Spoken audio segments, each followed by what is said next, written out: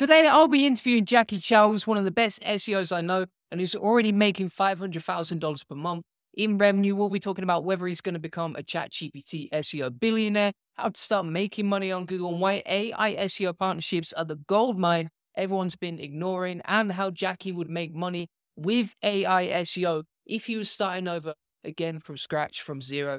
Let's go. So, how much do you currently make from SEO per month? I think roughly 500K a month, just be- below that in December, but roughly 500K. And I know you've been doing daily videos on YouTube, showing all the stuff and sharing everything that you do, which is pretty cool. Is it true that dry scooping creatine actually makes you better at SEO? I'm going to say yes. Yes, it does. I think ever since I started dry scooping, my MRM has gone just straight up. So massive correlation there. Yeah, massive correlation. Definitely. Zero doubts there. Well, I mean, on a serious note, when it comes to achieving level of revenue per month, like 500K per month, where does that mostly come from? Like, how have you got to that level? Yeah. So I would say 70% from partnerships now. And that's something I've been shilling super hard. I don't even know why, because I don't really get that much benefit from talking about it, but fuck it. Thing is, uh, something that everyone's interested in, like even Authority Hacker, they mentioned that one of the biggest trends for this year will be focusing more on partnerships than niche sites. And I think one of the good things that you're talking about is actually you're doing it and you're telling people how you do it. Mm-hmm. With these partnerships, are you leveraging AI and ChatGPT to do the SEO? Yeah, absolutely. Otherwise, we can't do it at such scale. But yeah, everything's manually edited at the moment. Have no plans to not do so yet. All right, awesome. And we'll come on to some more like technical questions covering how to do partnerships and how mm-hmm. with the level of income that you're in at the minute. Do you plan to retire or stop at any point? Like, what's keeping you going? What's keeping me going? I guess just an absolute number. But yeah, I just want to be financially free. But then then again, some may argue I, I can be financially free now. So I guess we'll see what happens. I just want to give myself a year trying to go really hard and then take and a then, step back from yeah. SEO. Yeah. Like not go as hard, you know? Like I would be happy with a low five figure MMR at, at that point after a year. Yeah, because one thing I wonder is the level of intensity that you must have to operate at must be insane. Like you can do that for a year or two. I don't know whether you can do that forever. No, you'll definitely burn out. I burned out once after COVID for sure. I took like a couple weeks off, but COVID, I was busting out like, I don't know about you. I'm guessing you too. It would probably be like 16 hour days every day for like nonstop for a year. But that was good times, man. It's good times. Especially if you're running the agency or doing client services, like it was almost too easy at that point. Yeah, everything popped off. With your trajectory and the way that you go, would you want to reach like billionaire status or something crazy like that? Or you have a set number and you're willing to get out at that point? Probably the latter. I think to get to a billion, you have to get lucky not just once. I think you got to get lucky a couple times. Like a couple hundred baggers is required, and that's like very very hard because I'm like super conservative. So to hit a billionaire, uh, billion dollar status, I think you have to pick a company and hundred exit at least once or twice, and then you'll probably hit there. But that requires you to either be extremely lucky or have crazy, crazy like belief in the company you're in but I'm a conservative investor. I don't know about you, but I'm an ETFs and chill type of guy. I hold a lot of bonds. I'm very risk averse, minus my crypto holdings. I think outside of that, I'm pretty conservative. So I'm just right now accepting the 8% annual gain, and I'm okay with that. Yeah, not going after the 100 bagger. Yeah, the way that I see it is like to get to that level of wealth from SEO, which is a ridiculous target. The only way I can see it being really achieved is if you did something like Neil Patel, where you're selling mm. to enterprises, or number two, if you were taking that money and then investing it very conservatively into something like S&P 500 and just doing that consistently, maybe like 50 or 100K per month you put into S&P 100 mm-hmm. And you do that for like 50 years. And then eventually you, you would get to that point of comparison. Yes. Yeah, for sure. But to speak on Neil Patel, love the guy. I think he's absolutely killing it. But I think from what I remember, they would do roughly like a hundred mil a year. But at their scale, pretty sure their EBITDA is single digit percentages in terms of like profits. So like on a hundred mil, it'd be sub 10 mil profit a year on like a thousand person headcount agency. I don't know if that's something I ever want to do. For him to reach a billionaire status, he'd have to sell it, right? Man, such a such a nightmare. I would ne- ne- not nothing I would ever want to do. It's a lot of VAs to manage, isn't it? Yeah, and I, I think at their scale, it's not even just VAs anymore. They have they have like account managers in the US, UK, so on and so forth. It's wild. Different scale. What do you think about niche sites in 2024? Do you think they're dead? Yeah, they're fucked. 100%. There's like, yeah, 100%. Like, if you give me any example of a niche site you think is like successful, I will literally do an SEO heist with one of my partners and it'll be gone the next day.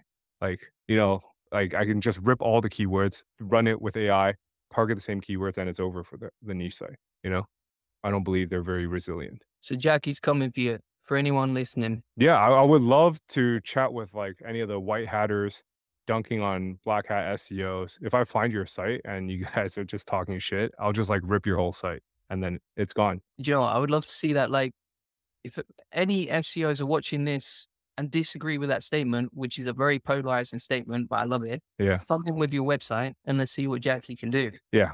Yeah. I could probably take like first five spots of their queries in like a day, most likely. Because to be honest, like the topical authority niche sites, all they're targeting are like keyword difficulty under 50, right? This is a different ball game. When you're playing above like KD 80, it's a different ball game. So that's like the keywords we're trying to go after, like best test booster, best Viagra alternatives, shit like that. Like, do you think we can't rank for, I don't know, can dogs eat freaking chocolate? That shit will be gone tomorrow, you know? It's, yeah, I totally agree. And I think as well with SG coming in, these sort of informational terms where someone can get the answer in two or five minutes, it's just a matter of time before they get wiped out, right? Mhm. I think there's still money to be made for sure. You can run that all the way to zero and you'll still make a lot of money. Because I think it's not wise to invest into niche sites in 2024, but I think there's still a lot of money to be made as it dies, like as the industry dies. with the level that you're at, how are you learning to scale a business like that? Like, I know obviously one of the things I really respect about you is that unlike a lot of SEOs with these partnerships, you're willing to create massive value for the other person so that you get massive value in return, right? It's like win win. How have you learned to do that? Yeah, I think the idea of partnerships didn't come to me like by myself. This like this opportunity presented itself. Like one partner reached out saying they can't pay us, but they have like a really strong site. So I was like, yeah, let's try it, right? Put your money where your mouth is. I think if you're that confident in SEO and that confident in monetizing, why not just do a rev split? Like it's a no-brainer, right? I mean, the numbers show itself. I think we'll do two, three hundred K this month for one partner. And our take is like 50%. Tell me a client where you can bill like 100, 150K a month. And it's wild out here, man. Yeah. And I think the more people you help and the more you help them, the more money you're going to make, right? Yeah, exactly. Literally everyone wins in a rev share partnership. Everyone wins. And it's in your best interest as well. Do you have any mentors or coaches that have helped you along the way? No, actually, I do have friends in different industries that I bounce ideas off of, mostly in e-com space. But yeah, the way they think is very different. Also, I think it's important to take everyone what people say in the SEO industry with a grain of salt. That's very important. It's better to like test yourself. Wait, wait, wait. Are you telling me that content isn't king? No, it definitely is not. It is not king.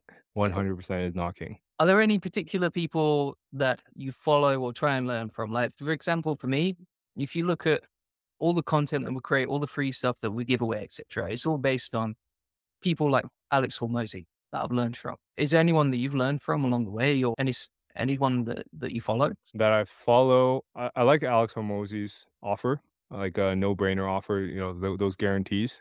I like the My First Million guys and just about everything they talk about in the pod. So I follow them pretty closely. I enjoy the content that Andrew Wilkinson puts out, as well as yeah. I think off the top of my head, that's about it. Plus, oh yeah, the All In podcast guys are really good as well. It helps you think bigger, right? I think it's uh, important to get out of your the SEO circle once in a while because people think really small in the industry. All All In is a podcast. The investors, right? Yeah, yeah, yeah. Yeah, yeah. Couple billionaires. Pretty pretty intense. How many hours per day do you work? Right now, less so. I would say maybe four, five hours max, but every day. So weekends included. No days off. Yeah. But it's it's so easy. It's like it's fun. I just wake up and do it, right? What else am I gonna do when I wake up? I mean, for me personally, like work kind of feels like a game.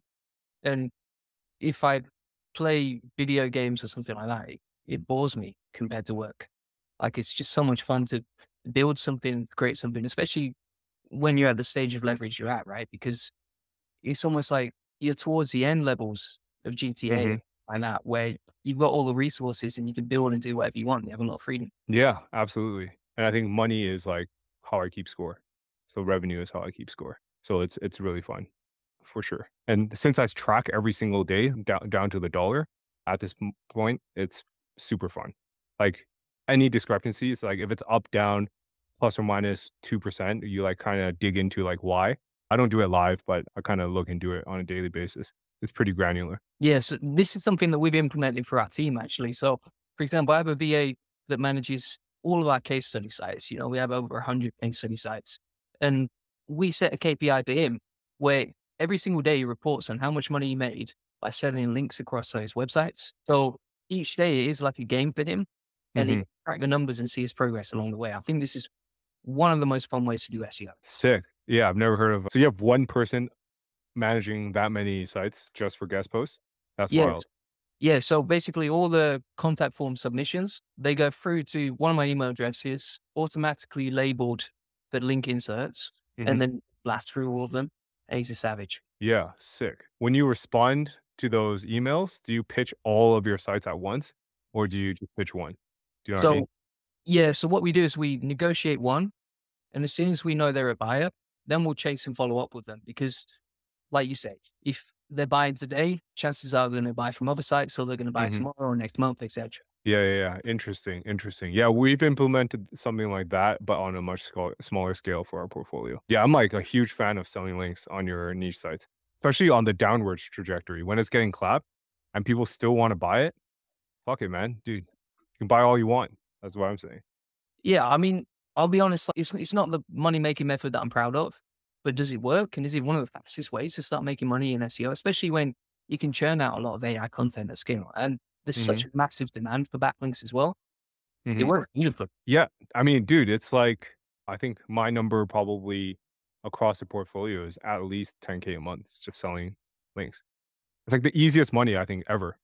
Full stop. Yeah, and between like creating chat GPT content Mhm. or using tools like Autoblogging, or I know you use Koala as well, Mhm. you can churn out these sites and start ranking and getting link builders reaching out to you really, really quickly. Yeah, yeah, yeah. And you know, I posted about this on Twitter and I got some backlash saying like, how can you sell links on a site that you wouldn't build yourself? Hey, if someone's buying, I'm gonna sell. Like, who cares, right? If someone's asking you to buy links off that site, it's not our problem to educate. It's not our responsibility to educate them that this site might not be the best for backlinks. You know, it's a free market. God needs to fulfill it. Thing as well, they probably use the prospecting tool, like for example, Pitchbox or something like that, filter out the metrics, for example, organic traffic or DR.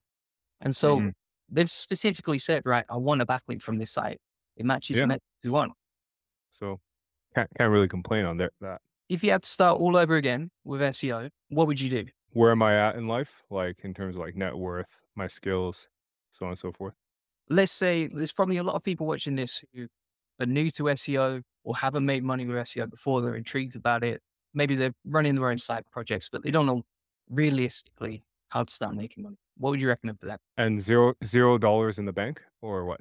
Yeah, maybe thousand dollars in the bank maximum. A thousand dollars in the bank maximum. Fuck. Thousand dollars in the bank. That's tough. That's like very little money, I think. That's like a bit of a stretch. Probably do some sales. I'd start pitching, offer some performance guarantees, start off with agency, stack that uh, MRR that way.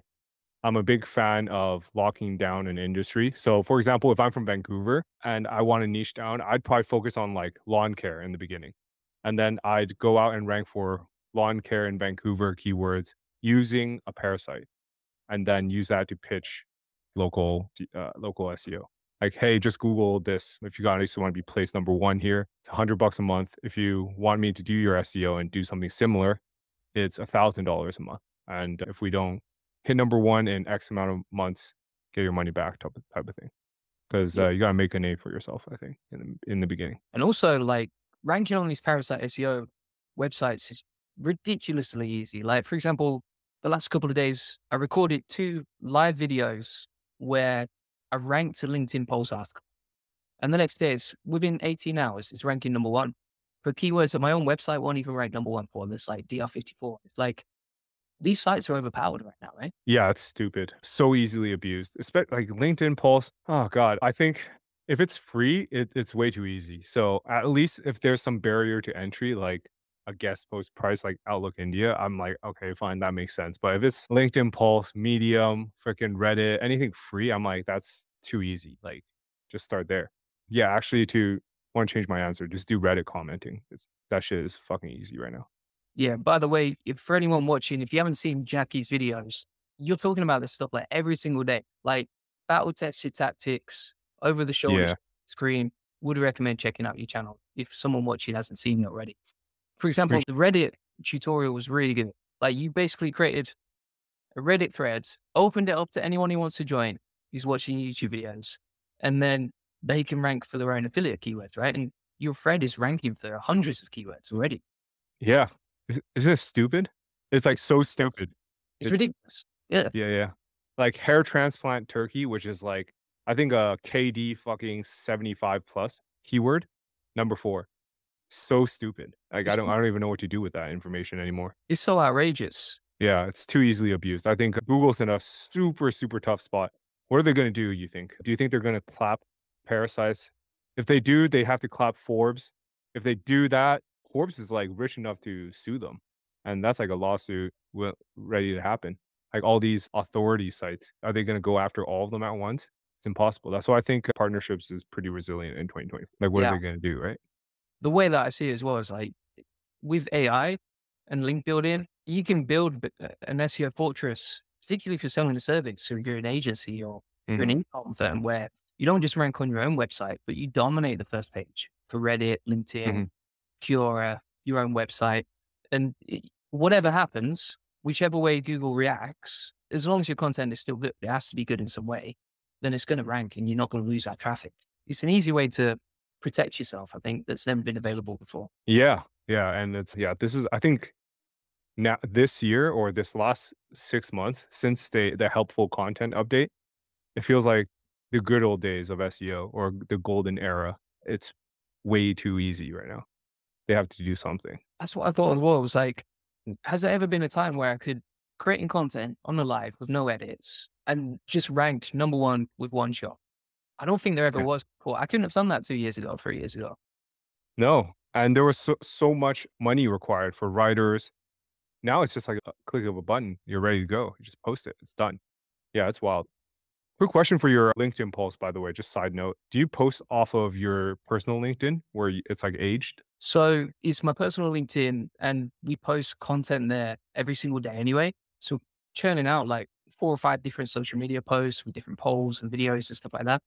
And then we also create a ranked content using LinkedIn Pulse. So it's already an authoritative we- website, already Mhm, an authoritative profile. And I think you'll know better than most people is like, you've got so much EAC on that profile, right? Like a lot of authority, real person, trustworthy, credible, topical authority on the subject. It makes it easy to rank any content. Fuck. I don't know if LinkedIn is EAT actually. I thought about this and my hypothesis, you can argue this if you want, but I think you have a lot of followers on LinkedIn, right? How many followers do you have? And- 12,000. Well, So yeah. I think the more followers you have on LinkedIn, the easier for you to rank. And it's a common because I think when someone follows you, I think it might be an, uh, considered like an internal link to your page. Do you know what I mean? And with 12,000 followers, there's so many internal links into your profile. And then from your profile, if you post anything, there's like a lot of quote unquote link juice or link equity into those LinkedIn Pulse articles. Hence why it ranks so easily. That, that's just a hypothesis. You can split test this by posting two similar articles targeting the same keywords on both your LinkedIn and your agency's LinkedIn post and see which one ranks higher. Same tactic, probably same prompts. That'd be an easy way to test because you have less followers on your agency profile, right? Oh yeah, and we're a lot less Yeah. active as well. I think that could be a great video. Maybe Yeah. yeah. Try that. Let, let me know though. S- send that through afterwards. But that's just uh, something I, I was thinking about lately. One thing I was thinking was if you look on Google now, for example, if you Google my name, it'll feed into the Google results, not just my social Mhm. media platforms, but also the follow account for each platform. And potentially that could influence it, similar to what you're saying as well, right? Yeah. Yeah. But based off of that, you could just buy followers, right? So cheap. It's like fucking two bucks per thousand followers. I would just crank that shit every profile if that's the case. But I think though the followers, your the fake followers don't have any followers, hence there's less internal links. So it's like a sh- considered like a shitty backlink.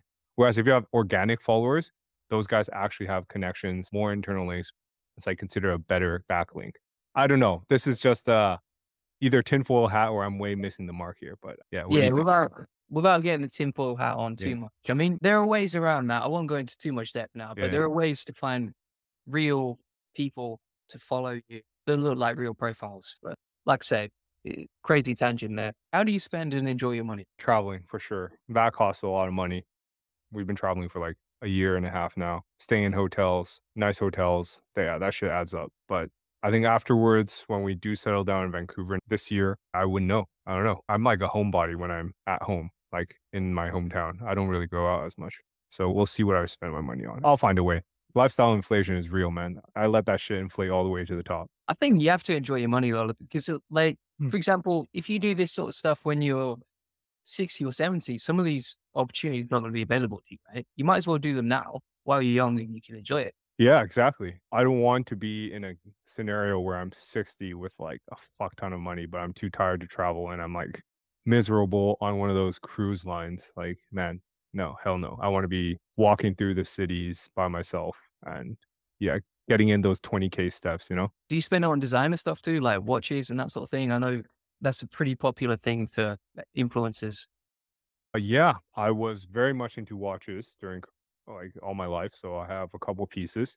As far as material goods go, no, I have like a couple nice pieces here and there, but no, I don't spend that much on money on it. Yeah. What about you? I think you got a new Rolex on. Is that a Explorer? Yeah, like two yeah. times. Yeah. Mainly, I got it because it made a great video title, and that video ended up getting like 60k views. So it was a great oh, story. One of the other things was when I made that video and published it, so many people who were interested in that sort of stuff reached out to me. And it led to some interesting partnerships that are coming up later this year. I can't mm-hmm. say too much on that right now.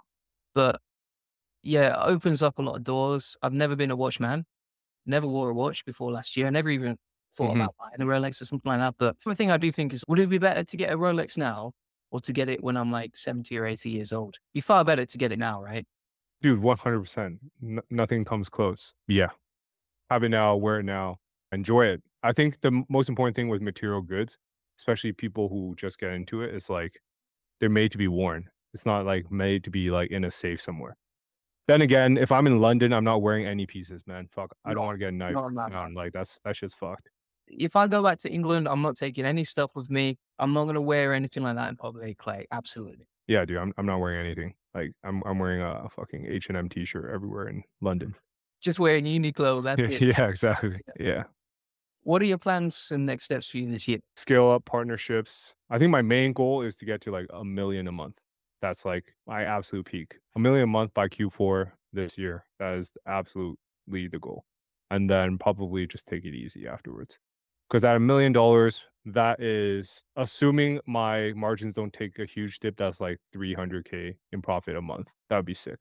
And then probably if I invest heavily, go hard into the S&P 500, I can have a massive nest egg when I'm 40 and I'll be okay. How old are you now? Turning 32 in a couple days, actually. Congrats. Yeah. Happy birthday.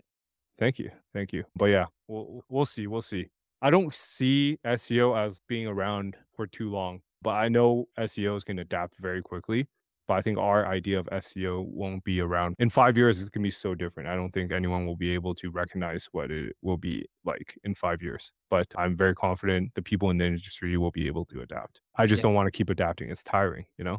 So fucking tiring. So stressful too. I don't know if you saw my like income reports earlier last year. Like it was so low. It was like freaking 80k, but my margins were super low as well. So I think I was only like 15 to 20k profit in February last year. That was like pretty nuts. I was down bad at, at that point mentally as well. Is pretty bad because I got slapped so hard by Google left and right. And then I was trying to figure out like, okay, what am I going to do next type of thing. But thankfully stumbled upon partnerships and focus on the right things. That's an interesting one because obviously you were still making a good amount of money for most people, but it was still painful for you, right? Yeah. I mean, if you take steps back, that's what happens, right? This is what I yeah. found is like, it doesn't matter what level you're at. Once you get beyond a certain level of comfort, it's more about progress. And if you don't make progress, that's equally as painful, no matter what stage you're at. It's like you always want to be moving forward and, and making progress in the right direction. Yeah, but that's not always the case, especially in SEO. God, it's so hard. If you can always keep up and to the right, it, which I don't think anyone can do that in the industry. Yeah, it's really tough on the mental because especially if you get slapped down so hard, as we see so many niche site owners in the helpful content update, I see people like just completely giving up when they shouldn't, you know, there's still money to be made. So that makes sense. When I was speaking to James Dooley, obviously you've had him on your YouTube channel as well. Oh, yeah. It, one of the things he does talk about is like there were so many failures along the way. It wasn't just path towards where he wanted to be. It was very up and down. But the main thing is you're just learning and you never give up. Whatever happens, you just keep going. Unless, of course, it's stupid to carry on, but you keep persisting and learning, and that's the only way you can really make it in SEO. Yeah, yeah. But I think there's way too much survivorship bias in SEO as well. Way too much. For every person who flexes the 100K a month screenshots, there's like 10 people who got absolutely killed during the helpful content update, you know? And like great sites. And for example, faranaway.co, my like D2C site, like that affiliate side isn't the greatest, but for some reason it doesn't get slapped down as hard as, I don't know, the likes of freaking Retro Dodo, you know, which I think is like a superb site. Once Google deems you unhelpful, I don't know if anyone can re- really recover that. Makes sense. Helpful. Yeah. If you were trying to help someone like me, for example, an agency owner, we're set to make about three or four million this year, the agency. Fuck yeah, let's go. Let's go. It's great. I mean, I never imagined to get to that level, and it's only thanks to everyone who watches this channel, honestly. But what would you say is the next level? Like, what would you recommend, and how would you bridge that gap between, say, where we are and reaching that one million a month figure? Uh, even getting to a half a million a month. Yeah, I guess identifying your main like revenue drivers, I guess it's all from your YouTube, right? Is that true? It's all from YouTube, all your clients? Not all of them. So typically what happens is it's just we're a brand. And mm-hmm. when I look at, for example, we've got a CRM where we can mm-hmm. track mm-hmm. every lead that comes in, every sale that comes in, where they've reached us and how they found us. And usually it's like multiple touch points. Mm-hmm. So a lot of people know us from YouTube, but then they see us on LinkedIn, they get our emails, they see the free course, and it's like a combination of everything that it's omnipresence, I would say. Yeah. What's your first touch point? But the first touch point is usually YouTube. Yeah, yeah. So that's like okay. up the funnel. Yeah. I guess if I were you and you want to keep going, like expanding your agency, Absolutely. right? That, that's yeah. your thing. Probably look into paid. Paid is the the numbers are crazy in paid. And I think people in SEO are so against paid, which is the wrong way to approach it. Yeah, you, you just have to educate people more when it comes to paid. So I would start off with like retargeting on paid and you'll see a great ROI there and then probably get into first touch point, top of the funnel type of paid ads. Um, it works 100%. It's like without a doubt, B2B paid works. So you just have to crack it. And once you crack it, it's over. Like that, I think super clear to 10 million if you can crack it. No, no agency has been really able to do a great job with paid. I know Fat Joe is doing a decent job there. So just check out their Facebook ad library and just rip a couple of those. I think Facebook, Twitter, Reddit, you got to be everywhere, man. And you don't even have to spend that much. Just it's a why not? But also, I think you have a lot of risk if Google decides to one day, quote unquote, devalue links, right? Because that's your main thing. Yeah. For example, if Google all of a sudden puts link importance to zero, like are you clapped like left and right? Are you are you just out? Massively. Yeah. So yeah probably switch to something that is valued more, for example, content. Yeah. So I think a good example is like, you know how before the emergence of AI, content agencies were like all the rage. They were like f- popping the fuck off left and right, doing extremely well. And now with ChatGPT, all the AI tools coming out, they're so good. And I would argue some are better than the agencies. Like, what are they going to do? They're they're they're completely annihilated. So I think maybe to shield yourself from this risk because it's not zero. That risk of links going to zero is not zero. So um, probably diversify slightly. But what do you do with your dividends? Do you just dividend out and then invest into something safe, or what are you doing with your money? With the profits? Yeah. Yes. So uh, I take them out and I invest in, mainly into S and P 500. That's like my biggest investment. I try and save ninety percent of the money that I make, and then oh. I just have fun with the the ten percent that's left. Oh, then you're fine. Then I think if it goes to zero, you're still gonna be fine. So yeah, I think maybe grow as hard as you can. Give yourself maybe a timeline. That's what I would do in your position. I would like, hey, I'll give this my all, tackle this as hard as I can for like one or two years, try to exit and then chill after that. Set yourself a target and maybe don't remember to take profits along the way. I don't know, sell a piece of your company along the way. That's like the main thing. You see too many SEOs get destroyed from not taking profits. Yeah, I think that's something that we didn't track properly before. Uh, one of the biggest mistakes I've ever made is not tracking the profits accurately as the team grew and as we scaled. And then additionally, yeah, it's like don't keep all the money in the business. You know, investing in the S&P 500 is one of the safest options that you have. hmm Yeah. And I think, have you read the book Profit First yet? Yes. Just do that. Take it all out first and then re- work backwards from there. It's painful though. How do you think SEO is going to change over the next five years? Then? How's it going to change? I think it's going to change a lot. I think I spoke on this a couple times already. Informational content completely destroyed, like in terms of your niche site targeting informational content. If, what, when, where, why, keywords destroyed. I think there's a case to be made for buyer intent keywords like buyer guides. For example, I would listen to you if you told me Autoblogging is the best AI writer because you obviously use a fuck ton of AI writing tools for SEO. I would I want to hear your opinion. So I think there's still a case to be made in in that era. So I want to hear what I don't know, freaking Gordon Ramsay uses as a pan, you know, shit like that. But I don't care what Gordon Ramsay thinks. I don't know if chocolate's good for you, you know, shit like that. If your query can be answered in one line, then you're fucked. Yeah. So, like, if your website is candogseatcucumbers.com, Yeah. might be time to rethink the strategy.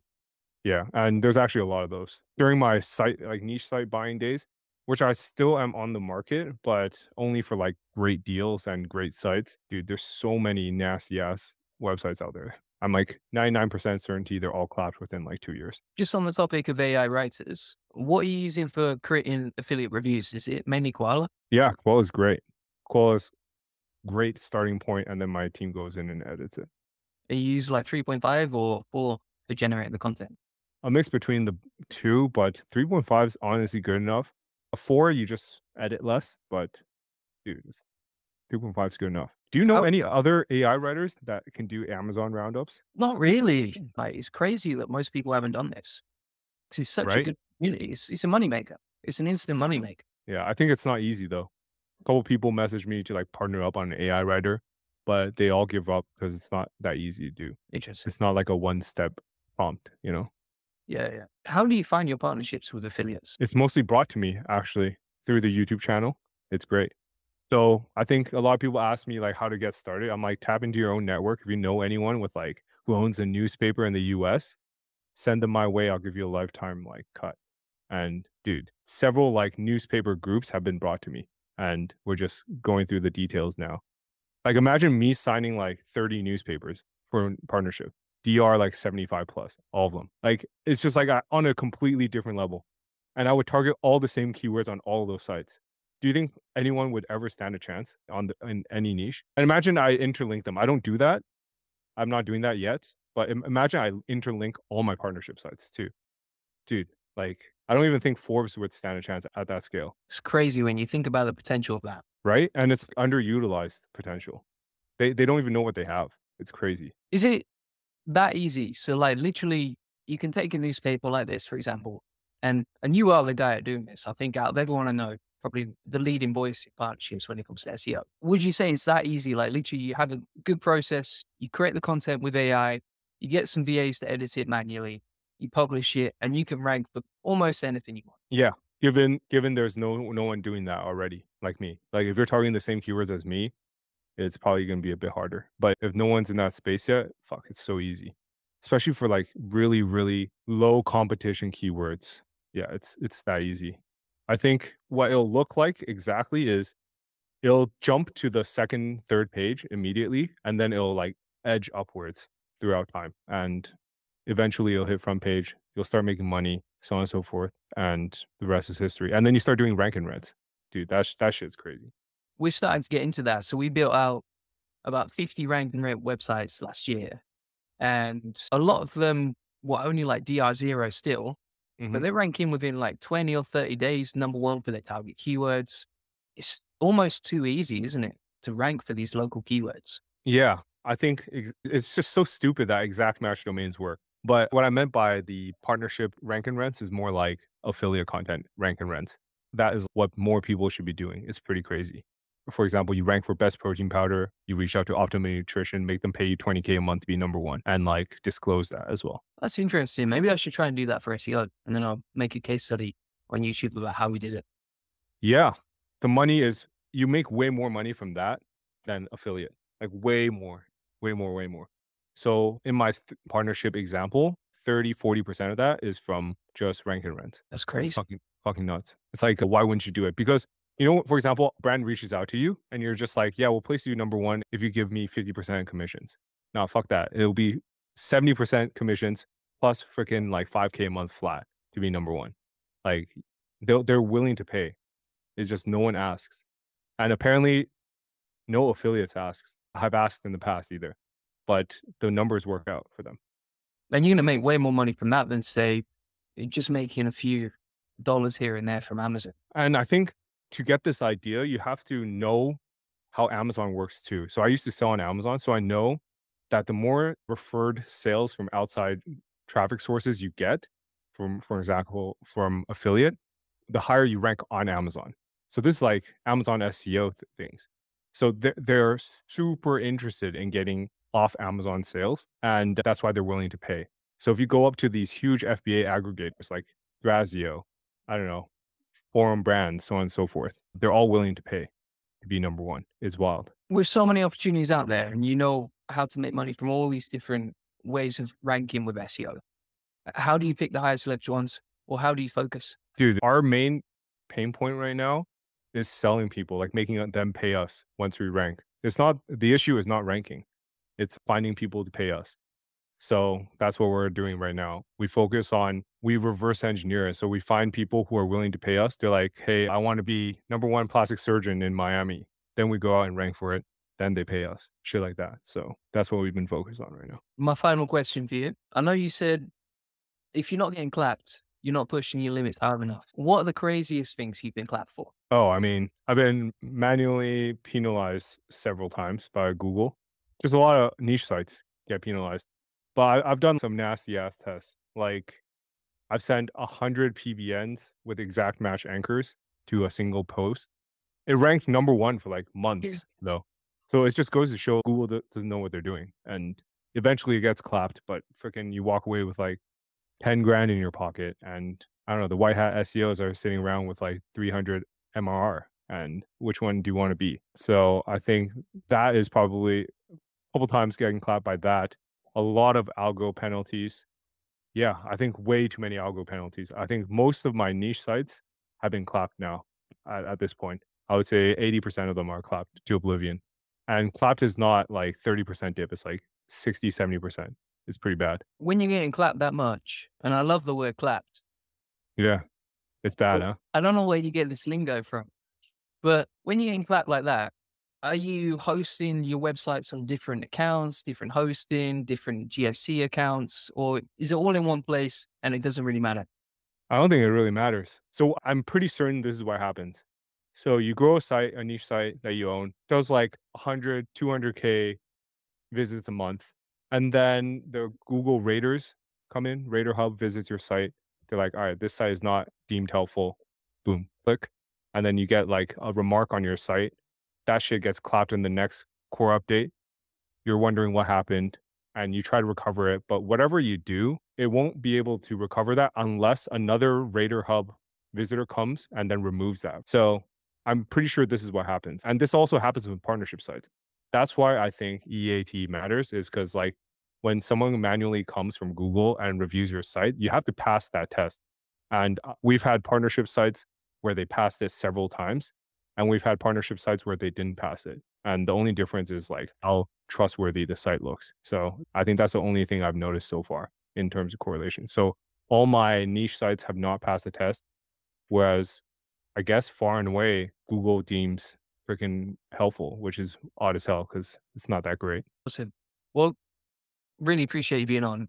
Learned a lot today. is there anything you want to say before you go? No, man. I think everyone go buy Julian Goldie's links and subscribe in the link down below. And if anyone wants a partnership, check out Jacky Chou. And what's the best way to contact you on Twitter or? Yeah, Twitter. Twitter is good. All right. We'll leave a link to your Twitter. And then also, if no one's checked out Jacky's channel on YouTube, really amazing. It's growing fast. I think it's going to blow up at some point. So congrats on that, man. Appreciate it, man. All right. Cheers. Take it easy.